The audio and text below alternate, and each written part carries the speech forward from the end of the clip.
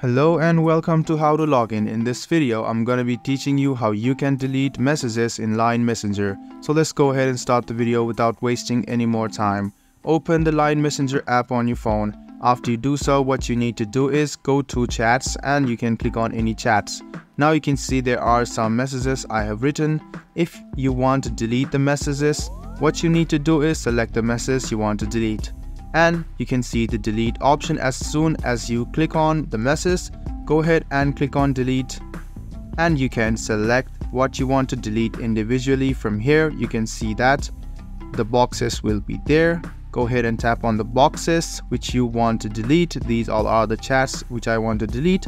I'll just go ahead and click on delete and you can see it will tell you the selected messages will only be deleted from your device and they won't be deleted from your friend's device so you can go ahead and click on delete.